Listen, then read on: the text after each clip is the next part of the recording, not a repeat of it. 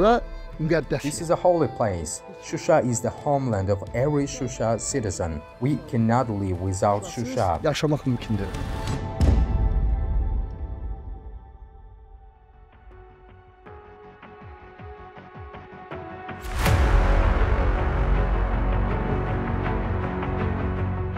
Shusha is the cultural capital of Azerbaijan. On November 8, 2020, during the 44-day patriotic war, the city was liberated from a nearly 30-year-long illegal Armenian occupation. The liberation of Shusha was a successful military operation of the Azerbaijani army under the leadership of the Supreme Commander-in-Chief President Ilham Aliyev, which predetermined the outcome of the war. The territorial integrity of the country was restored. From ancient times, the city of Shusha and the surrounding mountains terrain was one of the most strategically important locations in the Karabakh region. On May 8, 1992, Shusha was occupied by the armed forces of Armenia. In an unequal battle, the city was defended by volunteer battalions. In the battles for defense, 195 people were killed, 165 were injured, 58 people were captured or taken hostage.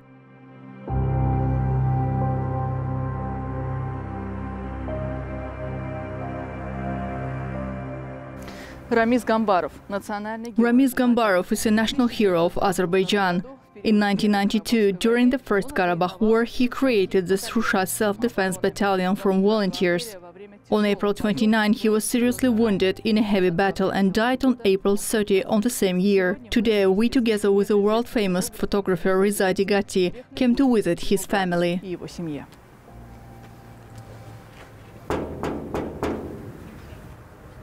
Hello, Hello, how are you? welcome. How are you? Good afternoon. Very nice to meet you. This way, please. Thank you.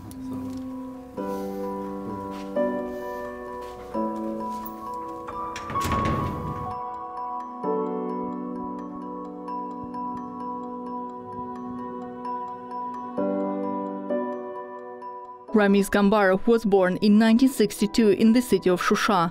After graduating from the Shusha Secondary School, he was drafted into the army. In 1986, he entered the Azerbaijan University of Architecture and Construction, but couldn't complete his education as the war began. Ramiz, like hundreds of brave sons of Azerbaijan, went to the front to defend his native land during the First Karabakh War.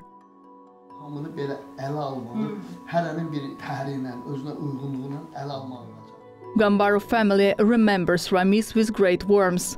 With his kindness, honesty, and sincere love for the motherland, from early childhood he endeared himself to those around him.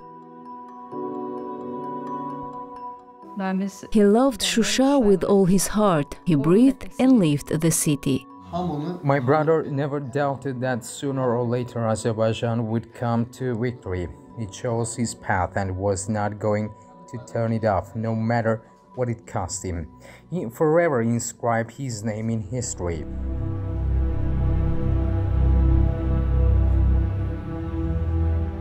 When the city of Shusha was liberated from many years of Armenian occupation, the brother of the national hero of Azerbaijan, Hafiz Gambarov, was able to visit his home again, or rather what was left of it.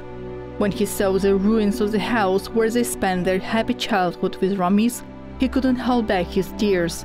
How could they know then that a war would come to their home and their family and would forever change everyone's life?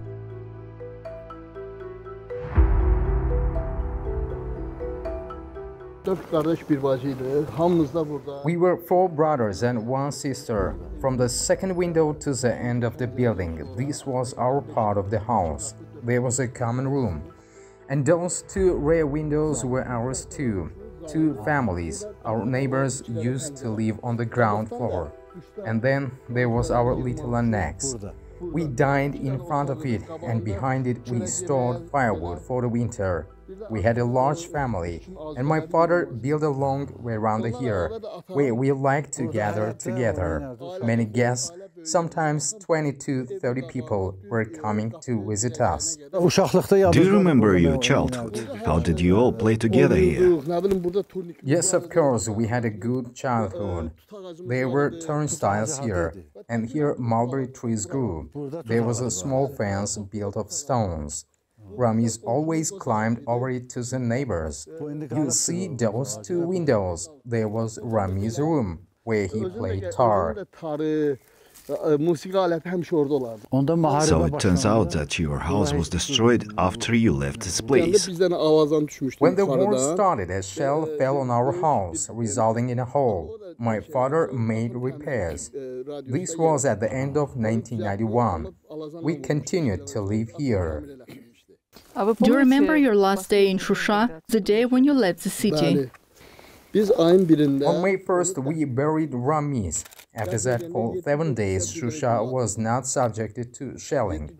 On May 8th, we wanted to take out the women who were in the house, but at 3 o'clock at night, they opened fire on us. Shusha was fired from three sides, from Chopkani, from the Red Bazaar, and from Hankendi. There was cases when the rockets collided with each other right in the sky. To such an extent, there was a strong shelling of the city from different sides. We took people out in such conditions. All our property, all things, everything left here. vəziyyətdə cəmaatı çıxartdıq. Nəyimiz var idisə, nəyimiz var idisə, hamısı qaldı. Bir dəqiqə siz gəlin. Can you stand here in front of the house? I want to take a photo of you. ha, burada. Elə bu evin yaxında bir Stand here, please. I will take one of your photos in front of the house. fotozu çəkin burada. Aha.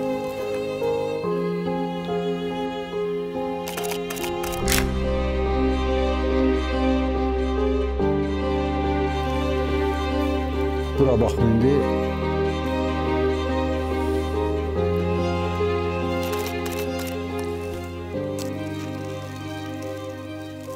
Reza Deghati himself clearly remembers his last meeting with Ramiz Gambarov in Shusha. In April 1992, when the city was under siege by the Armenians, he had his last tea in the city square. The photo he took that day, entitled The Last Tea in Shusha, became one of the most famous not only in Azerbaijan but also in the world. I'm here in, in the Shusha. And I um, wanted to say uh, goodbye to Ramiz Gambarov and uh, Rasim Yusuf and other friends. I said, okay, while we are going here, I have to cross and walk the mountain Jidir on food, and maybe they will shot me, the, the, the snipers, because they tried three times to shot me before. And uh, then you are staying here, I don't know what will happen to you. So maybe let's just forget everything and sit down and have a tea together. And that's where the that's where we stand it here. If you can see, sitting over here and having the last tea here. Here is a Ramiz that pouring the tea for me. And this is the hat of the Rasim Yusufov. That, uh, so we were three of us. And actually, this is a special tea that Azerbaijani they have, which is called kahliot. That's why it's not, uh, the, the color is a little Light. light uh, the, the, because it was a, a lot of the kahliot. And obviously, uh, we sit in this table. And uh, so there were, you can, you can even feel those people here sitting there. It was a sad atmosphere. It, you, you had a feeling that those people thinking that this is the last times of where they're staying here. This is the last days. So that's why it was a, like frozen in time. So you just enjoyed the moment.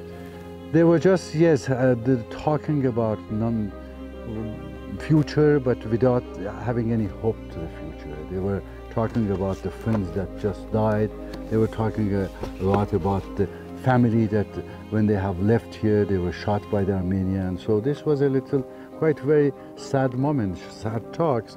But as you, you remember in the pictures with Ramiz and everybody, well, they had hope actually. They always, in this moment of the, the, the more difficult times in the war, then you see the how people have a big heart and they You were totally sitting next to uh, Ramiz Gambarov. Could you remember something from your conversation? Uh, uh, most of our conversation was that he always was telling that I will defend the city on the, the, my last blood. Always saying that nobody will pass here till I'm alive. And he was a really good commander. I had an experience of the other commander in different countries, different wars. He looks very young. He looks, you know, joyful always. And this is one of the, uh, as I, I could say, the the sign of a good commander is always joyful and uh, having very friendly conversation with the people. And uh, so Ramiz was the same, and he was joking, saying that, "Can you imagine? believe?" He was telling to Rasim mother, "Can you, can you believe that our picture is going to Paris?" So you made possible all these So, pictures to go to Paris. I, I went to, I brought the pictures to Paris, and I always loved this thing.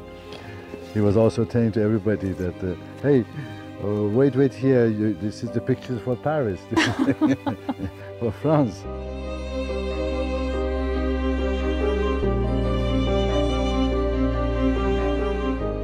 On December 28 in 2020, 28 years later, Reza Deghati returned to the liberated Shusha and drank tea, looking at the city of Khankendi on the top of the highest hill. During the years of occupation of Shusha, the ancient mosques, monuments of culture and history were destroyed. The main goal of the Armenian invaders was to erase any reminder that these lands belonged to the Azerbaijanis. The bust of the brilliant personalities Khurshid Banu Natavan, Uzeyir Hajibeyli, and Bulbul, who have adorned the city for decades, were shot, dismantled, and sent to Georgia for selling as metal. It was only thanks to the efforts and intervention of national leader Heydar Aliyev that they were brought to Baku. A memorial of the executed monuments appeared in Azerbaijan National Museum of Art. Many years later, on January 14 in 2021, they were brought and reinstalled in Shusha. Today, only photos kept old memories alive.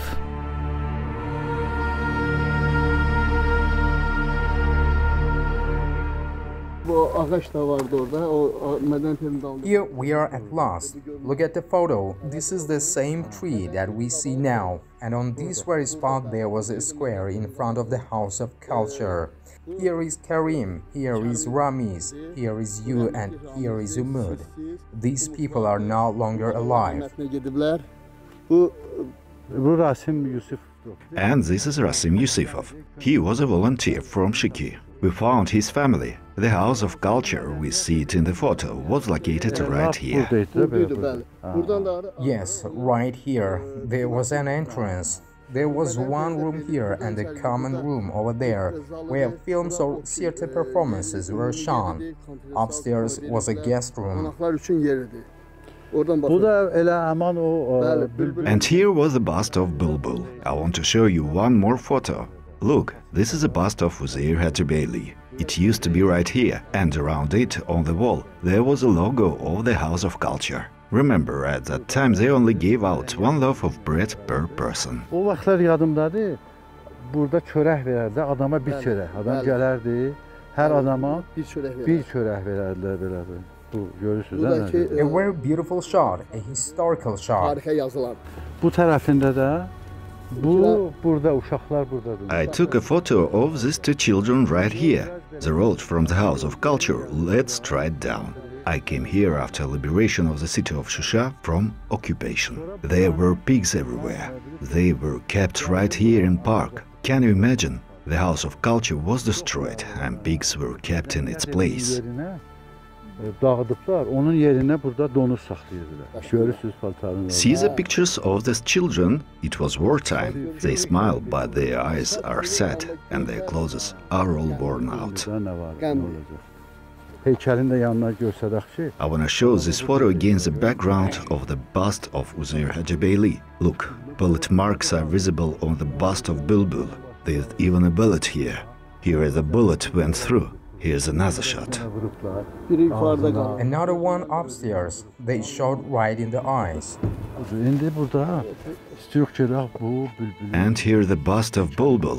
You see, the bust of Bulbul used to be located right there. next to the House of Culture. Look what happened to him. Bullet holes here and there. Baba görürsünüz. Burada gülleler. With one footprint here, a bullet hole, and here, two footprints at the top.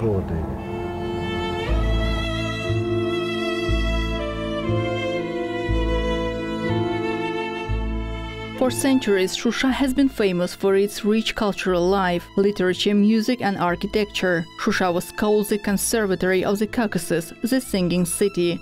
In the 17th 19th century, the Shusha Mugam school was developed here.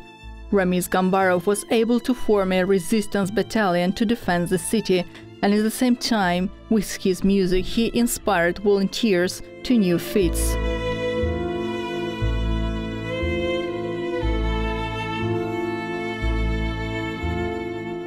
Ramzi özü e, musiqi təhsil almış adamıdır He played e, guitar very well, especially Mugam and the composition Sarigelin. When he was playing, passers-by stopped to listen to him. He played with all his heart. Next to the House of Culture, there was a hall with an old but well-tuned piano.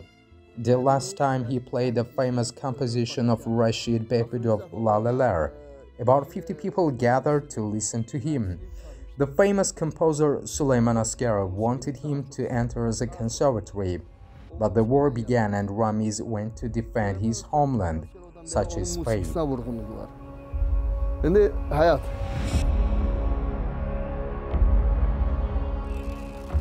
On April 29, 1992, during the next battle, Ramiz Gambarov was wounded. He was taken to the hospital and underwent emergency surgery. But on April 30, he died. His relatives buried him in the Alley of Martyrs in Shusha. His body rests in the mass grave.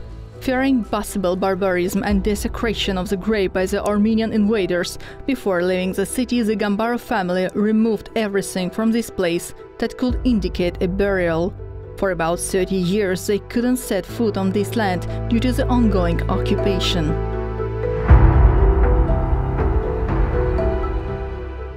Burada 3 cərgə There were three lines of graves. There are 21 graves in total. After the liberation of the city, our president Ilham Aliyev instructed to protect this place, where the Alley of Martyrs will be in the future. There is a cemetery not far from here, but it's in a very bad condition. This is real barbarism. Belə bu cür indi baxanda Do you know exactly where Rami's body is underground? Məsələn, Ramizin o o uzun yox. müddət keçibdirlə. No, it's a very difficult question. Perhaps when everything is restored here, we will determine this.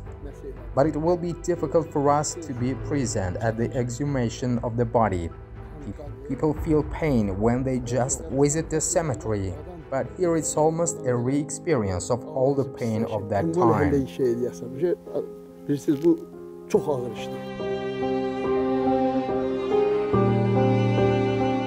Ramiz Gambarov was posthumously awarded the title of the National Hero of Azerbaijan. A street has been named after Ramiz Gambarov and several films have been made.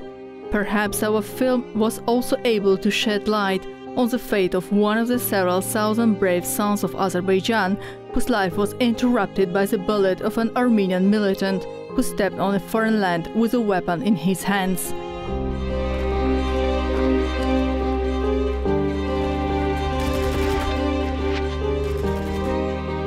The long awaited victory gave peace to the tormented Azerbaijani land. The soul of the dead soldiers rest in peace.